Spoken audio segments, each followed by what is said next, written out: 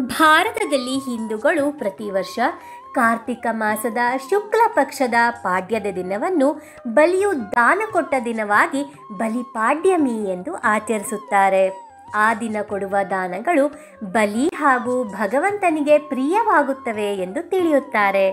ಹಾಗಾದರೆ ಈ ಬಲಿ ಯಾರು? ಈ ಬಲಿಪಾಡ್ಯಮಿ ಹಬ್ಬದ ವಿಶೇಷತೆ ಏನೆಂದು ತಿಳಿದುಕೊಳ್ಳಲು ಈ ಒಂದು ಸ್ವಾರಸ್ಯಕರವಾದ ಕಥೆಯನ್ನು ಕೇಳೋಣ. ಆ ಕಥೆ ಹೀಗಿದೆ. ವಿರೋಚನ ದೇವಾಂಬ ದಂಪತಿಗಳ ಮಗ ಮಹಾಬಲಿ. ದೈತ್ಯರ ದೊರೆ ಪ್ರಹ್ಲಾದನ ಮೊಮ್ಮಗ. ಬಲಿ ಎಂದರೆ ಪ್ರಹ್ಲಾದನಿಗೆ ಬಲು ಪ್ರೀತಿ. ಪ್ರಹ್ಲಾದನಿಂದಲೇ ವೇದಗಳನ್ನು, ಯುದ್ಧ ವಿದ್ಯೆಯನ್ನು ಕಲಿತ. ಮಹಾವೀರನೆಂದು ಬಲಿ ಪ್ರಖ್ಯಾತನಾದ. ವಿಂಧ್ಯಾವಳಿ ಎಂಬುವಳೊಡನೆ ಅವನ ಮದುವೆಯೂ ಆಯಿತು. ದಾನವೇಂದ್ರ ಪ್ರಹ್ಲಾದ ಬಲಿಯನ್ನು ಯುವರಾಜನನ್ನಾಗಿ ಮಾಡಿದ. ಬಲಿ ಪ್ರಹ್ಲಾದನಂತೆ ಹರಿಭಕ್ತನಾಗಿದ್ದ.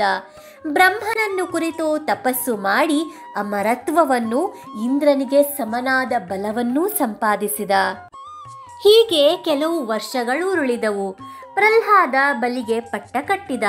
ಬಲಿಯ ಪಟ್ಟಾಭಿಷೇಕಕ್ಕೆ ಗಂಧರ್ವರು, ಯಕ್ಷರು, ಸಿದ್ಧರು, ದೈತ್ಯರಸರು ಬಂದು ಕಾಣಿಕೆಗಳನ್ನು ಕೊಟ್ಟರು. ದೇವತೆಗಳು ಮಾತ್ರ ಬರಲಿಲ್ಲ. ಇಂದ್ರನಿಗಂತೂ ಬಲಿ ತಪಸ್ಸಿನಿಂದ ಹಿಂತಿರುಗಿದ ಮೇಲೆ ಅವನ ಮೇಲೆ ಕೋಪವಿತ್ತು. ಬಲಿ ದಾನವರ ದೊರೆಯಾದ. ಶುಕ್ರಾಚಾರ್ಯರು ಬಲಿಯ ಆಸ್ಥಾನದ ಪುರೋಹಿತರು. ಸಲಹೆ ಕೊಡುವವರು ಅವರೇ. ಬಲಿ ಕಾಲಕ್ರಮದಲ್ಲಿ ಹಲವಾರು ಅರಸರನ್ನು ಗೆದ್ದು ಇಡೀ ವಿಶ್ವವನ್ನೇ ತನ್ನ ಅಧೀನವನ್ನಾಗಿಸಿಕೊಂಡ. ಇದೀಗ ಬಲಿ ಚಕ್ರವರ್ತಿ ಧರ್ಮ ಪರಿಪಾಲಕನಾಗಿ ಬಲಿ ರಾಜ್ಯಭಾರ ಮಾಡತೊಡಗಿದ. ಶುಕ್ರಾಚಾರ್ಯರ ಸಲಹೆಯಂತೆ ಪ್ರಪಂಚದಲ್ಲಿನ ಬಡತನವನ್ನು ನೀಗಲು ಯತ್ನಿಸಿದ. ಬಡತನ ಮತ್ತು ಕಷ್ಟದ ಜೀವನಕ್ಕೆ ಹೆದರಿ ಮನುಷ್ಯ ಸ್ವರ್ಗ ಸುಖಕ್ಕಾಗಿ ಆಶಿಸುತ್ತಾನೆ. ನಾನು ಈ ಭೂಮಿಯನ್ನು ಸ್ವರ್ಗವನ್ನಾಗಿಸುತ್ತೇನೆ ಎಂದ ಬಲಿ. ದಾನವರು ಸನ್ಮಾರ್ಗದಲ್ಲಿದ್ದುಕೊಂಡು ಹಿಂಸೆಯನ್ನು ತ್ಯಜಿಸಿ ಒಳ್ಳೆಯ ಹೆಸರನ್ನು ಸಂಪಾದಿಸಬೇಕೆಂದು ಹೇಳಿದ. ಬಲಿಯ ಖ್ಯಾತಿ ಹದಿನಾಲ್ಕು ದಿಕ್ಕುಗಳಿಗೂ ಹರಡಿತು.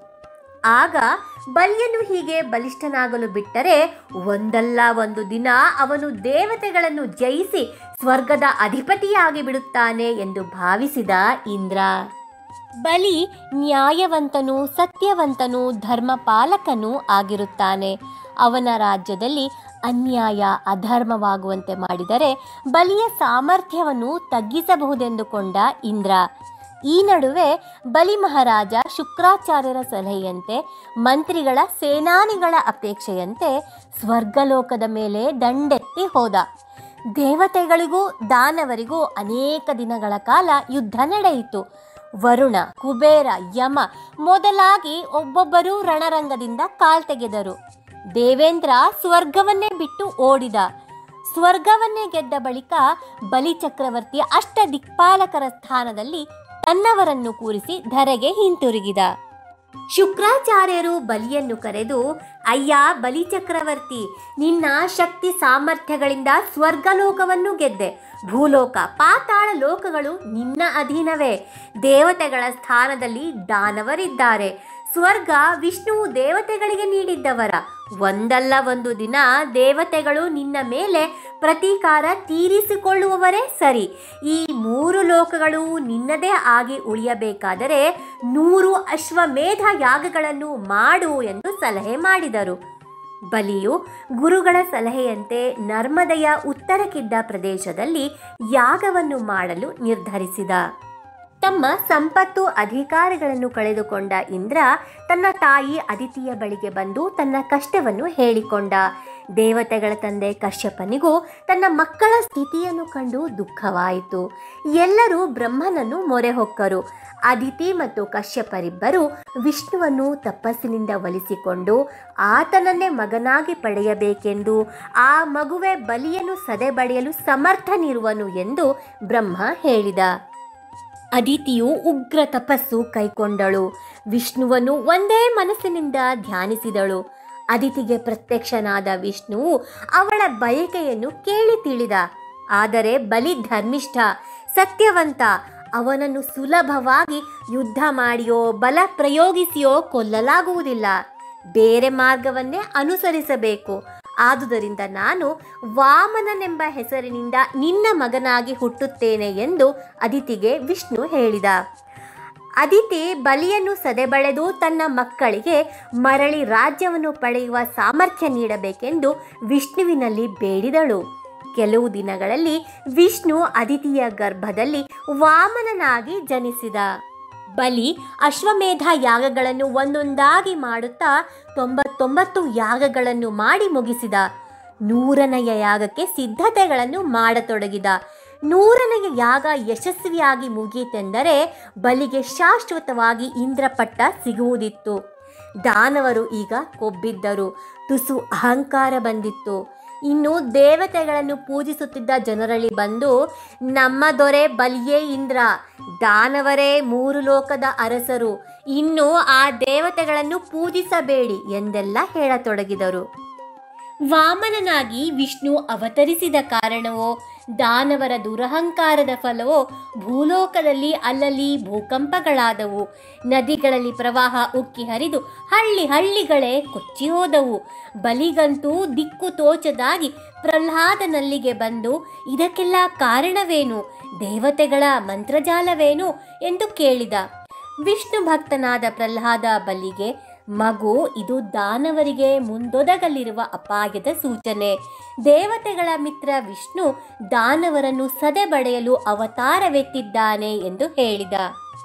ಕುಪಿತಗೊಂಡ ಬಲಿ ನಾವು ದೇವತೆಗಳಿಗೆ ಹೆದರಬೇಕೆ? ನಾವು ಇಷ್ಟೊಂದು ಸಮರ್ಥರಾಗಿರುವಾಗ ವಿಷ್ಣು ನಮ್ಮನ್ನೇನು ಮಾಡಿಯಾನು ಎಂದು ಬಿಟ್ಟ. ಬಲಿಯ ಮಾತಿನಿಂದ ಪ್ರಹ್ಲಾದನಿಗೆ ನೋವಾಯಿತು.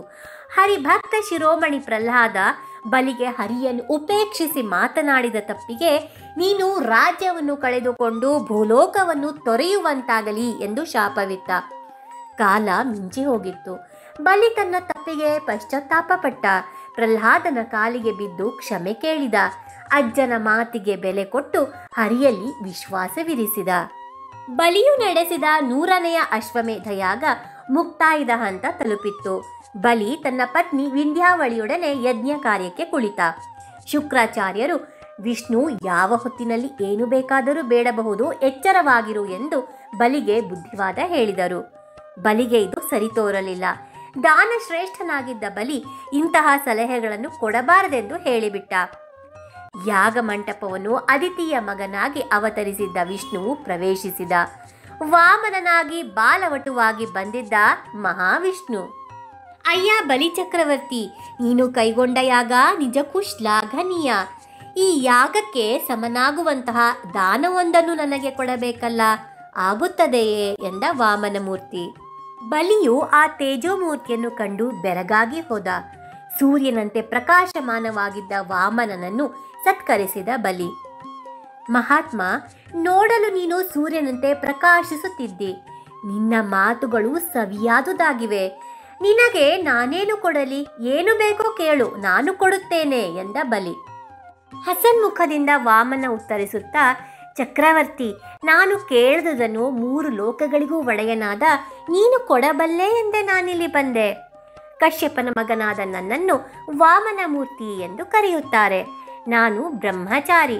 ನನಗೇನು ಬೇಕು? ರಾಜ್ಯವೇ, ಕೋಶವೇ, ಮನೆಯೇ, ಮಠವೇ? ನಾನು ನನ್ನ ಗುರು ಭಾರದ್ವಾಜರಿಗೆ ಗುರುದಕ್ಷಿಣೆ ಕೊಡಬೇಕಾಗಿದೆ. ಅದಕ್ಕೆ ಒಂದಷ್ಟು ನೆಲ ಬೇಕು.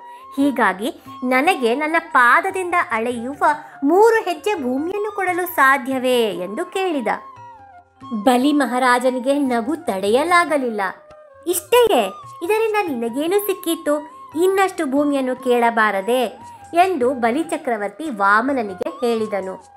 ಇದೇ ಸಮಯಕ್ಕೆ ಶುಕ್ರಾಚಾರ್ಯರು ಬಲಿಯನು ತಮ್ಮ ಸಮೀಪಕ್ಕೆ ಕರೆದು, ಬಲಿ, ನೀನೆಲ್ಲೋ ಮೂರ್ಖನಿದ್ದಿ.